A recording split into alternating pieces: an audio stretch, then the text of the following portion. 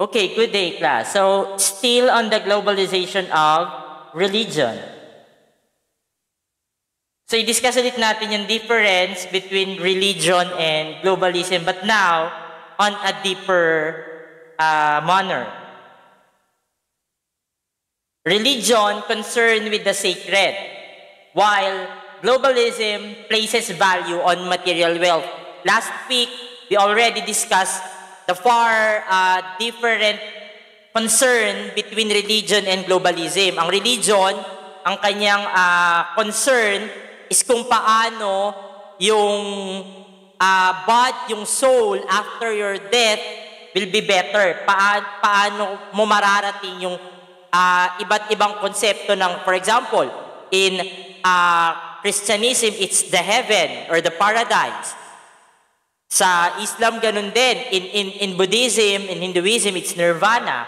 Paano mo mararating yung sacred high, highness, yung, yung, yung place kung saan nandun si God? Whereas, yung globalism naman, centers on uh, placing value on materials, uh, material wealth. Ano ba yung halaga ng mga bagay na meron dito sa lupa? Kailangan it has a monetary or uh, financial value. Religion follows divine commandments and assumes that there is the possibility of communication between the humans and the transcendents. Ibig sabihin, uh, may mga sacred, katulad dati may mga sacred scriptures na pinafollow ang religion, whereas in globalism, it abides on human-made laws. So yung batas na gawa ng tao, doon naman, yun naman ang sinusunod sa globalism. So yung pinag-aiba, nakita natin ha, religion follows yung God, uh, God-made laws through its disciples or its prophet. Ang globalism naman follows the human-made laws. And it is a yardstick. Yardstick is how much human's action can lead to the highest material satisfaction. Sa religion, you have to communicate with the Lord. Pag, pag na, na kakapag-communicate ka na daw sa Kanya, that's the time we can say na you're holy, you're, you're uh, in a deep trance na meron ka ng open communication with God, na nararamdaman mo siya na parang you're already enlightened with the divine truth. Pero sa globalism, maa-attain mo lang yung satisfaction if you are nandun ka na sa mataas na bahagi ng lipunan. So religious people aspire to become saint. They detest politics and and the quest for power, for they are evidence of humanity's weakness. So, ang, ang religion, ang aspiration yan for you to become holy. Paano ka magiging banal? Paano ka magiging santo? Pero, sa globalism, they train to be shrewd business person. They value politics and quest for power as both means and ends to open up further the economies of the world. Kung sa religion, wala, hindi nila gaanong, uh, tawag dito, binibigyang pansin ang, ang, ang, ang economy, ang power, ang politics, sa globalism, malaking bahagi siya. Kapag walang power, kapag walang politics, kapag walang economy, globalism will not take place. Evangelization is in self a form of globalization concerned with spreading holy ideas globally. So yun yung uh, ano ng globally ng ano ng, ng religion. Pwede siyang kumalat globally. Pero kahit may globalization ng religion, it is still uh, iba pa rin yung concern niya. Very much different from what globalism or globalization is intended for. Ang mga globalists focus on the realms of the market. They wishes to spread goods and services not the doctrine of the church. So kita natin yung pagkakaiba. The non-material one and the material one. Isolation, isolation justification.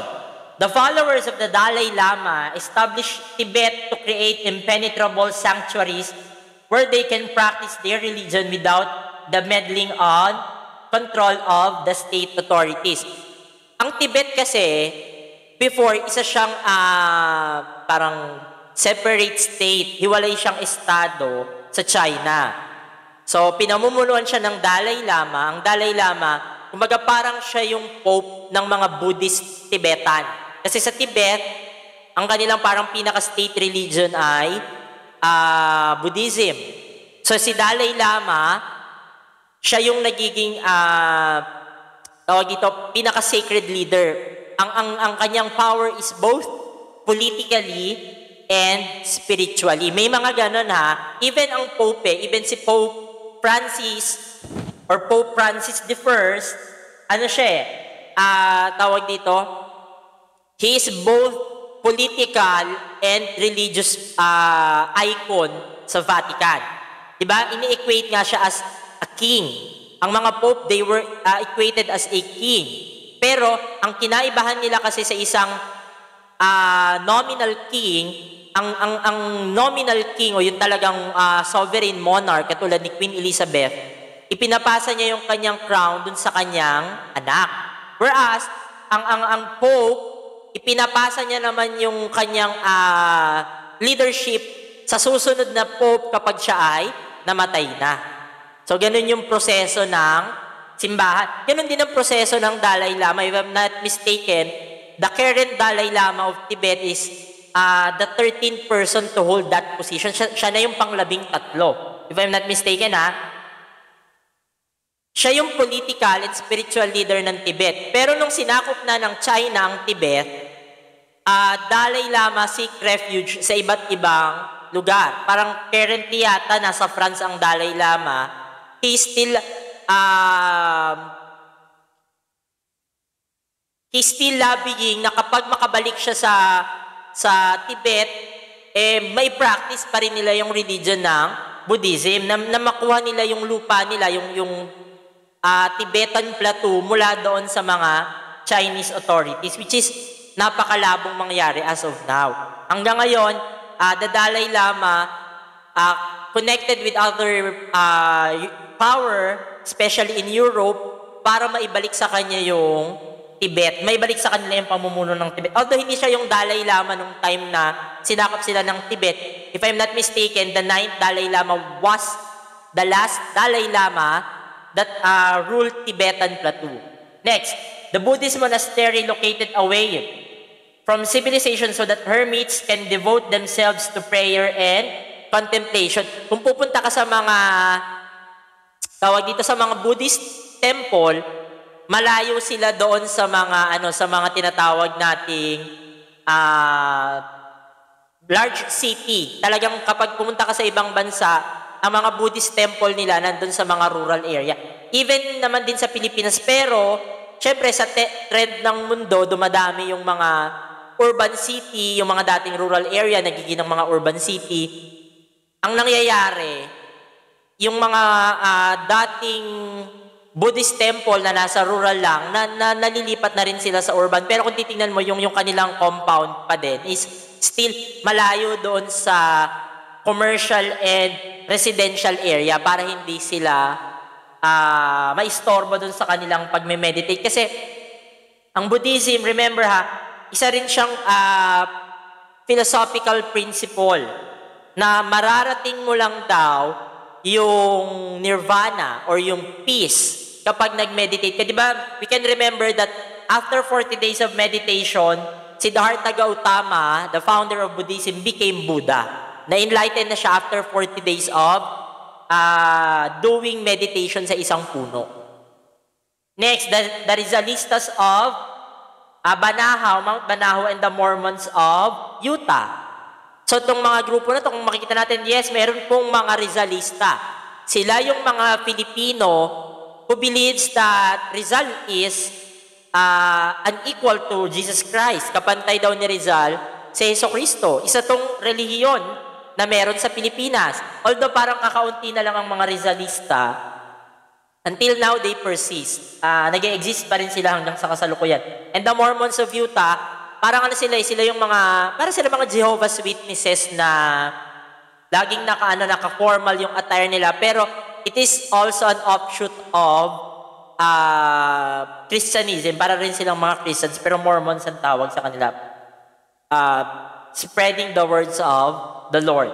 So these groups believe that living among non-believers will distract them from their mission or tempt them to abandon their faith and become sinners like everyone else. So yun yung uh, dahilan kung bakit itong mga grupo na to, the Dalai Lama, the Buddhist monks, Rizalistas, and the Mormons, ina-isolate nila yung sarili nila. Even, even naman ang ibang ano dati, ang mga, tawag dito yung mga uh, Christian monks, yung mga monghe natin, malalaman mong monghe sila, hindi yung katulad sa Buddhist na pagkalbot sa naka-orange, monghe, hindi ganun itsura natin.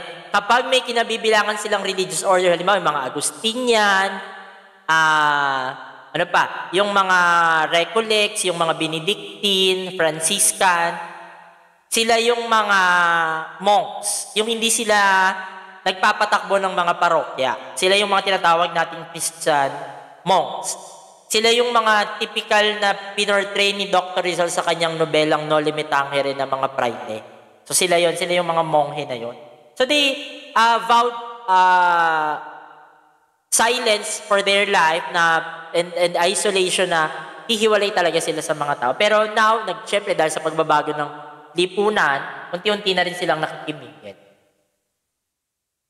Relationship between globalization and religion is much more complicated. So according to Peter Berger, he argues that far from being secularized, the contemporary, contemporary world is seriously religious. There are inevitable explosions of religious fervor occurring in one form to another in all the major religious uh, traditions such as Christianity, Judaism, Islam, Hinduism, Buddhism, and Confucianism. The religion is the foundation of modern republics. Maraming mga bansa ang naitatag. It is because they laid foundation on religion. For example, balikan natin, Iran. Diba? The Ayatollah, Ayatollah Ruhollah Khomeini. So kaya niya na itatag yung tinatawag nating Islamic Republic of uh, Iran led by Shia uh, Muslim kasi ang, ang ang mga Muslim dalawang faction din yan eh. We have the Shia and the Sunni. Ang Sunni, they believe na dapat uh, lahat ng aral ni So again, Sunni firmly believes na dapat ang aral ng Islam galing lang sa Quran. Or yung mga pinuno ng Islam, ng caliphate, dapat lahat galing lang sa uh, lipi or sa lahi ni Muhammad. Pero ang mga Shia, Iba sila, yung mga Shiites, uh, Muslim. They believe uh, yung kabaliktaran. Pwedeng hindi kamag-anak or kalahi or uh, kalipi ni Muhammad yung maging caliphate, yung pinuno ng Islam. Pwede rin na uh, hindi mo hindi lahat ng aral ng Islam kunin mo sa Quran. So yun yung kanilang pinagkaiba. Again, uh, yung yung uh, Islam, siya yung naging foundation ng uh, Islamic Republic of Iran nung itinatag siya ni Ayatollah way back uh, 1960s. So, ginamit niya yung pagiging fanatics ng mga Iranians para maitatag niya yung Islamic Republic of Iran kung saan siya yung pinaka pinuno. May presidente sila, pero mas mataas pa siya sa presidente. Ganun din, yung naging uh, setup nila sa kasalukuyan. Nakukuha? Ganun din, syempre, yung nangyari sa iba pang bansa, katulad sa Saudi. They laid foundation also in Islam. So, ano nangyari?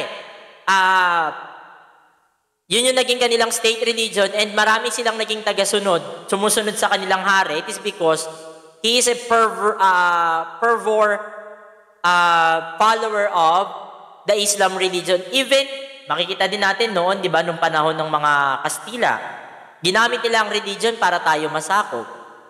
Di ba? Ganun din, ganun din yung nangyari sa Spain. Para, para mapalayas yung mga Moors or yung mga Moro, yung mga Muslim na nanirahan sa Espanya, na sumakop sa Espanya, ginamit nila yung religion, kaya nga siya naging isang religious war between Islam and Christianism. Malaysian government places religion at the center of the political system. Its constitution explicitly states that Islam is the religion of the federation and the rulers of each state, also the head of the religion of Islam. So, ganun din, katulad na nakaraang paliwanag ko sa Malaysia, kailangan ang pinuno ng bawat state nila, yung mga sultan, ay Muslim. Siyempre, hindi ka na magiging uh, sultan kung hindi ka Muslim. Even the sheikhs of uh, UAE, yung pitong Emirates ng United Arab Emirates, Dubai, Abu Dhabi, Shar- Sharjah, Fujairah, yung pitong yan, ang lahat ng pinuno niyan ay mga hari din na ang mga relihiyon ay Muslim. Though, ang kaibahan sa UAE at saka sa Saudi Arabia, merong religious tolerance sa sa UAE. Ibig sabihin, pwede ka mag-practice ng religion mo. Sa, sa Saudi Arabia talagang bawal. So yan, uh, si Ayatollah na napaliwanag ko na nung nakaraan, he is a, a late Iranian uh, religious leader. Sabi niya, there is no fundamental distinction among constitutional, despotic, dictatorial, democratic, and communistic regime. All secular ideologies were the same, they were flawed, and Islamic rule was the superior form of uh, government because it was spiritual. Yun nga, ginamit ni uh, Ayatollah yung religion para mahikayat yung mga tao na humiwalay dun sa kanilang dating uh, sovereign leader, si uh, Reza Pahlavi, si Shah Reza Pahlavi, na pabagsakin yung kanyang leadership. Nadlatul Ulama, a traditional Sunni, largest de, uh, denomination uh, in Islam movement in Indonesia, has Islamic school known as Pesantren. Their students are taught not only about Islam, but also about modern science, social science, uh, modern banking, civic education, rights of women, pluralism, and democracy. Religion was the result of a shift in a state policy. Though ang religion exists many years prior to the existence of science, uh, Nadlatul Ulama, yung, yung isang uh, faction ng Islam sa Indonesia, uh, they see na kinakailangan yung pagkakaroon ng, uh, tawag dito, yung pagkakaroon ng pag-aaral din sa science, na hindi lang sila based dun sa religion.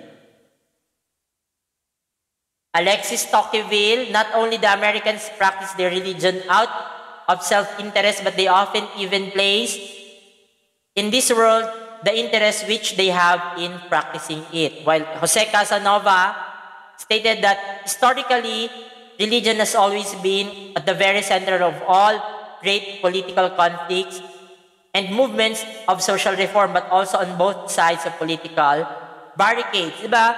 Marami din ngang maraming uh, digmaan sa kasaysayan ang naging dahilan ay religion.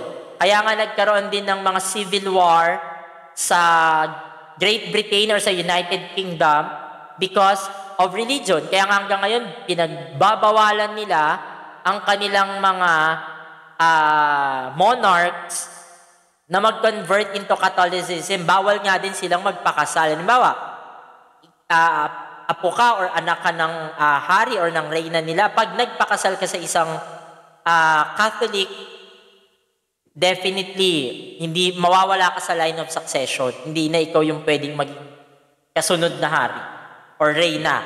Kaya malaking part na ginagampanan din yung religion even in the present time doon sa mga uh, bansa kung saan although hindi ganun ka hindi na sila ganun ka-engage when it comes to religion pero malaking bahagi pa rin noon ang, ginag- ang ginagampanan ng relihiyon. Christianity and Islam and the so-called old world religions see globalization less as an obstacle and more as an opportunity to expand their reach all over the world. So dahil nga nagkaroon ng uh, pag-open ng mga uh, ba, natagitan ng mga pinto, yung mga bansa, pinapayagan na nila makapasok yung ibang lahi sa kanila, even religion, nire-relax na nila yung kanilang mga policy, nagkakaroon na ng uh, more religious tolerance na mga policy. Dumadating sa point na talagang sinasakyan na rin ng Christianity at saka ng Islam yung ganong uh, setup para lang may palaganap ang Islam at saka ang Christianity. Globalization has freed communities from constraints of the nation state, but in the process also threatened to destroy cultural system that binds them together.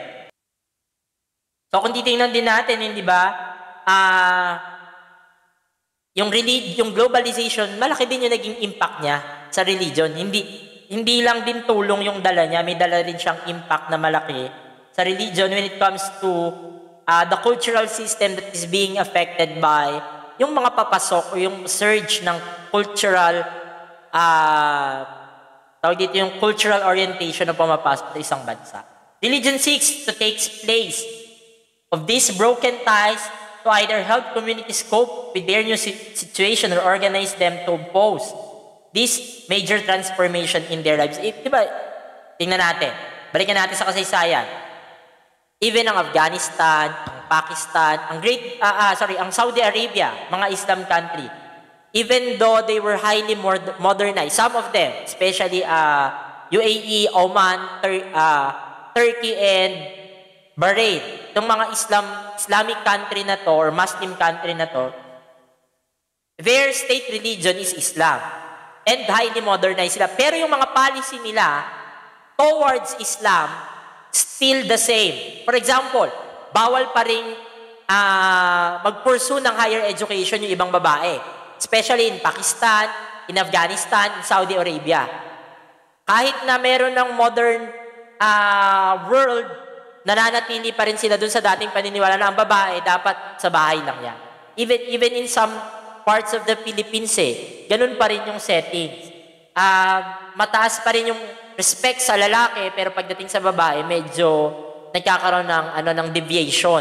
Pero, sa atin, napapababa natin yung ganong situation, unlike sa ibang bansa. Religious is not the regressive force that steps or slows down Globalization is a proactive force that gives communities a new and powerful basis of their identity. So yung religion, sa parang sabi nga, if you cannot beat them, join them.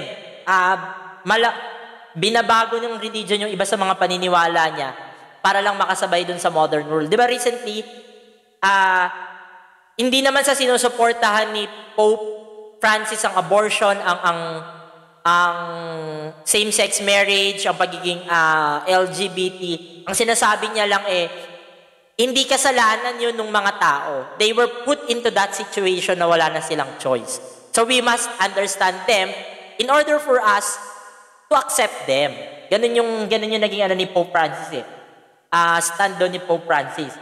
Religion is an instrument with which religious people can put their mark in reshaping uh, this globalizing world. Religious fundamentalism may dislike globalization, materialism, but it continues to use the full range of modern means of communication and organization that is associated with economic transformation. Yun nga, alam na ng religion, hindi niya mapipigilan ng globalization eh. Pero, ang ginagawa niya, sinasabayan man niya, pero pag alam niyang maapektuhan siya, yung religion itself, it, it fight back, whip back na Kinakailangan manatili yung religion, yung sanctity ng religion. Religious fundamentalism has stepped has stopped fast uh, long-distance transport and communication, the availability of English as a global vernacular of unparalleled power, power the know-how of modern management and marketing, which enable the spread of almost promiscuous propagation of religious forms across the global in all sorts of direction. The fundamentalist organization are the results of the spread of globalization and both find ways to benefit or take advantage of each other. Di ba? Noong nagka-pandemic, maraming mga churches sa bansa natin ginamit yung uh, social media para maipahatid pa rin yung word of God dun sa kanilang mga uh, parishioner dun sa kanilang mga uh, taga-simba or taga-sunod para hindi maalis sa mga taong hindi sila makalimot na meron pa rin religion.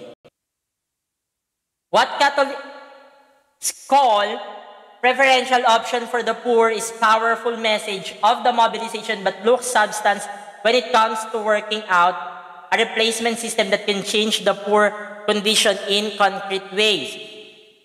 So, sa Catholicism, uh, maraming uh, policy that is being uh, accepted para kahit papaano ma-relax yung mga tao na, I mean, hindi sila na nahihigitan sa church or sa simbahan, syempre, hindi sila maghahanap ng ibang religion na mas maluwag.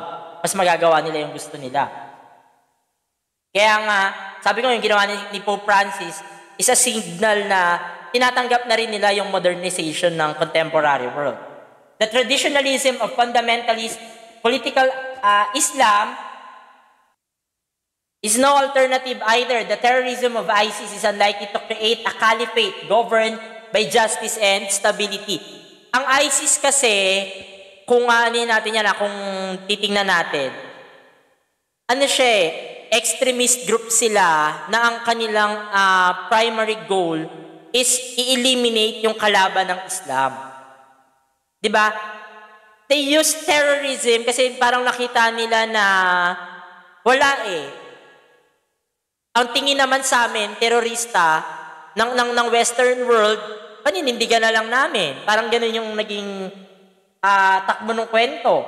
So to establish a caliphate, yung ISIS, parang ano eh, parang kinokons- kinoconsolidate nila yung power nila in the Middle East. Kaya nga siya tinawag na Islamic State of Iraq and Syria. Kasi nandun galing yung mga uh, original members nila and leaders.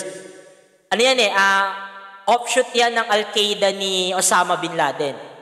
So nung, nung naitatag na yung ISIS, uh, yung mga kalat-kalat na mga Muslim extremist group, Taliban, Al-Qaeda, Jemaya Islamiyah, nagsama-sama yan to form ISIS at uh, ilaban uh, militarily yung pananaig ng Islam sa ibang bansa. In Iran, the unchallenged superiority of religious autocracy has stifled, stifled all freedom of expression and distorted democratic rituals like elections and tainted the opposition. So, epekto niya naman sa sa tao, uh, in Iran, hindi mo pwedeng questionin ang ayatollah o yung supreme leader. Kung ano yung sinabi niya, yun ang susundin. Hindi mo yun mababag. So, para siyang king. Pero katulad ni ni ano ni Pope at saka uh, oh, ni Pope, sabi ko nga hindi nila pwedeng ipamana sa anak nila yung power. So for your task sheet uh, number 4, you uh, you will read the above readings and you will answer the following question. Naka-indicate naman din ito sa inyo uh, module. So there are uh, four questions and uh, hope you learned something.